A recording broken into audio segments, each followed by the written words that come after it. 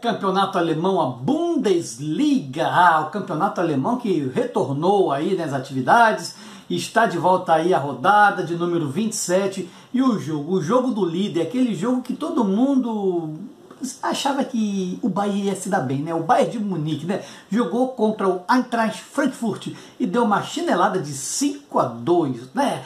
Ah, embalado por som de uma torcida que estava lá, mas calma, torcida fake ok? O Bayern goleou o Frankfurt, ah, mantém sua vantagem, mantém a sua liderança, está na ponta da tabela com 61 pontos, está 4 pontos à frente do Borussia Dortmund, que está em segundo lugar, ou seja, não está assim tão fácil, né? Mas quatro pontos né, no campeonato alemão já é uma boa diferença, né? O time de Munique joga pela primeira vez em casa após a retomada do campeonato alemão após essa pandemia, né? Aquele protocolo de segurança, sem torcida no estádio, né? Tá aí e retornou jogando na sua casa. E teve até barulho de torcedores, mas através de alto-falantes, né? Ali, né? Um negócio meio esquisito. O camarada olha para a torcida, não tem ninguém, né?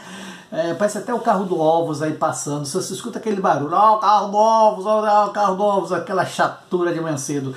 Bom, a vitória 5 a 2 antes aí do clássico com o Borussia Dortmund. Esse jogo vai ser um jogão, né? Bem, o Bayern de Munique teve quase que um dia atípico, aliás, um dia típico dos tempos pré-pandemia, quer dizer, antes da pandemia. Por quê?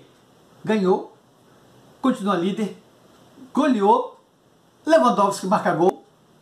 Então tá tudo era pré-pandemia, está na era na pandemia e com certeza vai continuar nesse ritmo na era pós-pandemia, ok? Porque ainda estamos na época da pandemia. Bom, teve festa da torcida, né? Mas só o barulho, como eu falei, foi fake aí, né? Bom, é, o time bávaro venceu o Eintracht por 5 a 2 neste sábado. O triunfo mantém a equipe aí com uma boa vantagem na liderança. Aí que o seu segundo colocado, seu vice, que está olhando ele, né, o, o, o Bayern Munique está olhando pelo retrovisor e está vendo o Borussia Dortmund, né? Próxima rodada, o clássico. Primeiro colocado, Bayern Munique, contra o segundo colocado, Borussia Dortmund, né? Bom, o Bayern chega aos 61 pontos com essa singela goleada de 5 a 2 sobre o Eintracht Frankfurt, né? Segue na liderança do campeonato é, e mantém 4 pontos de vantagem sobre seu principal rival, o Borussia Dortmund, que é o segundo colocado. Agora, na terça-feira, é, se enfrentam né, em Dortmund, vai ser em Dortmund, né? num clássico que pode é, decidir o quê? A disputa pelo título do torneio. O Frankfurt está lá paradão com 28 pontos na 13ª posição e pode ver quem está lá embaixo subir e se aproximar dele, né? Bom, como eu falei, o Bayern Munique fez seu primeiro jogo na sua casa, né, após uh, o regresso do, da Bundesliga, é, e adotou uma tática para tentar, digamos assim, superar a ausência de torcida dentro do estádio, já que não pode, né, devido à pandemia do coronavírus. Com liberação, ok? Não foi feito aleatoriamente, teve que conversar, dizer o que ia fazer e teve a liberação da Bundesliga. O clube colocou o som da torcida nos altos falantes. É interessante, né? Ficar aquela.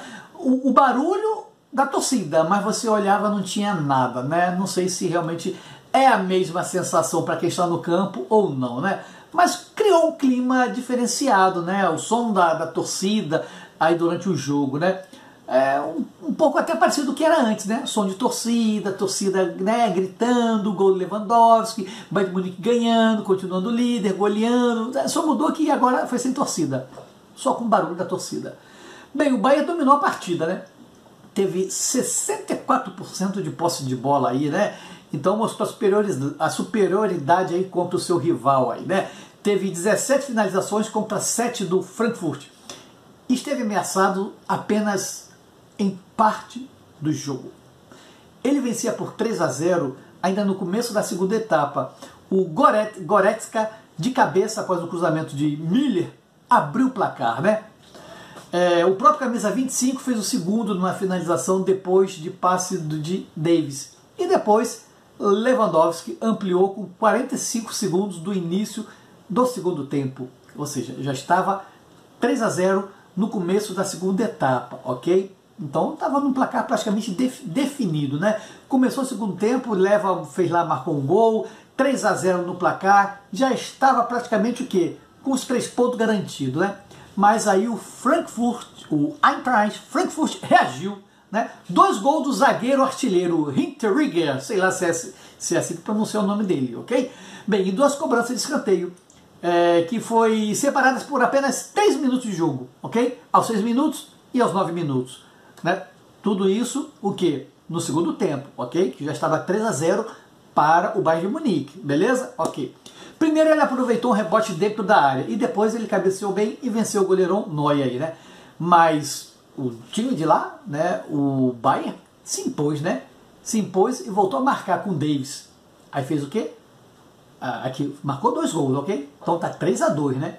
Tá, parece que tá difícil, né? 3 a 2 3 a 2 Mas aí o Bayern foi lá e puf! Quem fez?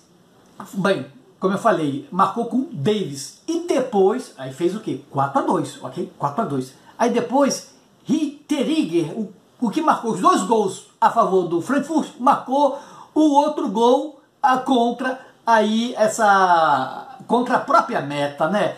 É um zagueiro, um artilheiro, marcou três gols numa partida, dois a favor e um contra, né? Após uma bobeada em jogada de Gnabry. Aí depois fechou com os 5 a 2 aí, né?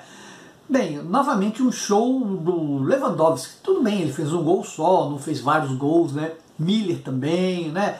O meio de uma assistência e deixou seu gol. Chegou aos 17 passos para gols na temporada. Maior marca de um jogador nas cinco maiores ligas aí da Europa, né? Marcou seu 11 gol na temporada 2019-2020. E o Leva, o Lewandowski, agora tem 27 gols em 25 jogos no campeonato alemão são 41 em toda a temporada.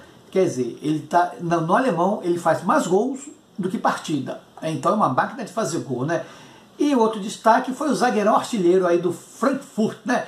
É, mas marcou um gol contra, né? Mas tudo bem, só de raiva ele falou, eu marquei um contra, agora vou fazer dois a favor. Só que ele fez primeiro dois, contra, dois gols a favor para ele, né? Aí depois é que ele marcou um contra, né? Bem, marcou três gols, como eu falei, né? O camisa 13 do Eintracht Frankfurt chegou agora aos 8 gols a favor, é lógico, né? Oito gols a favor. Esquece o gol contra que ele fez, né? Na Bundesliga. E ele é o artilheiro do time dele, do Eintracht Frankfurt aí na competição. A fase também não está boa nem para o time, nem para os artilheiros, nem para os jogadores de frente da equipe do Frankfurt, né? O Eintracht Frankfurt, que está aqui na tabelinha, vão caçar ele, está em 13 terceiro lugar, como eu falei aí no vídeo, 28 pontos, né? É, mais um pouquinho, tem cinco pontos de distância só para quem está na primeira, no primeiro lugar da zona do rebaixamento, né? Então ele tem que tomar cuidado aí. Bom, tá aí, né? Eu acho que era de se esperar que o Bayern voltasse, né? Aí logo, no segundo jogo após o retorno, né? Mas que ele impusesse o seu ritmo, né? Impusesse o seu jogo, Lewandowski fazendo gol, dominando o adversário, goleando, mantendo a ponta da tabela, mantendo uma boa diferença de pontos para o segundo colocado, que é o Borussia Dortmund. Vão se pegar na próxima rodada agora o Bayern de Munique contra o Borussia Dortmund. Se o Bayern ganhar ou até se empatar, a vantagem vai ser do Bayern, mas é lógico, o Bayern tem condição de ganhar o jogo. Borussia também tem condição de jogar, ah, de, de ganhar o jogo, né? E a casa, ah, o jogo vai ser na casa do Borussia Dortmund, ok? Vamos ver o que vai acontecer nessa próxima rodada, que vai ter esse jogaço aí, primeiro lugar contra o segundo colocado no campeonato alemão Bundesliga temporada 2019-2020, ok? A notícia aparece aqui, eu mando de volta para vocês aí. Valeu, galera!